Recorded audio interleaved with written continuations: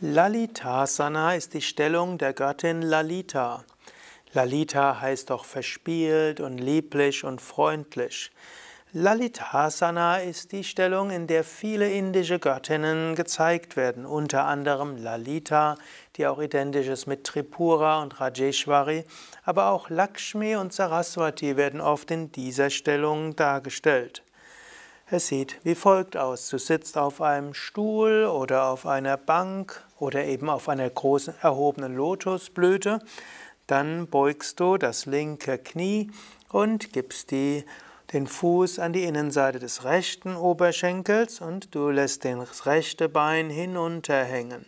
Dann gibst du die Hände auf die Knie und lächelst allen zu ist ein erhabenes Asana, wo du eben wie eine Göttin dich fühlen kannst.